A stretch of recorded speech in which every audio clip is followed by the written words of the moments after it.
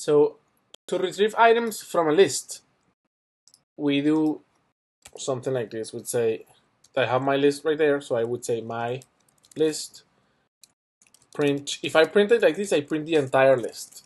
If I print it like this and I put square bracket zero, I'm printing the first item. If I print it like this, I'm printing this the, th the second item. So that's how you retrieve them. You can also put them in a variable. Like we could say, let's say uh, first, my variable first, it's equal to my list in the position one. And then if I like, I could, I could print this value first, something like that. So what is the exercise telling me? Print on the console the first element on the list. So this one, right? Let me put it here. And then print on the console the fourth element of the list.